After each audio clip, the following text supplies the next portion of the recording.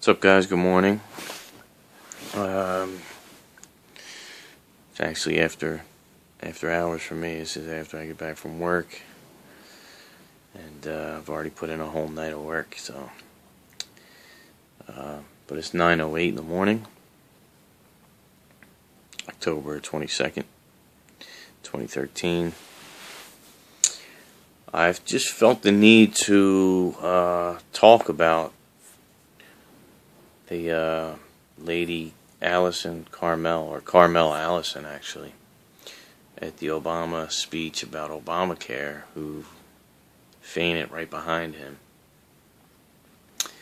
I've already seen some people post them, uh, some skeptics who actually post a good argument with, um, you know, this happens at every one of his uh, speeches. Some poor person faints and he looks like a superhero handing out his bottle and everything. Whatever. I could care less whether or not he decides he wants to Obama, whether or not he thinks that that's a good that's something that he thinks he can do or whatever. That's on him. I don't really not really here to talk about that. I don't care if he wants to look like a superhero. Uh, thing is interesting to me is that she was dressed in red to represent maybe the harlot of Babylon. I'm not calling the lady any names or anything. I'm just saying symbolism here. Symbols are all around us.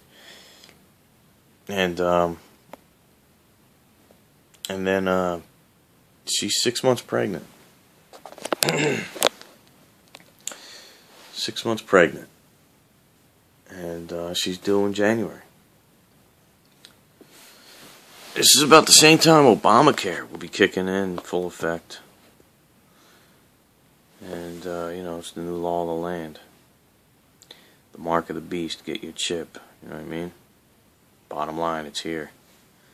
Law of the land. Just pointing out that, you know, Karmel Allison is her name. And uh, six months pregnant, due in January, the new year. Dressed in red fainting. Obama's first patient, maybe I don't know, but uh,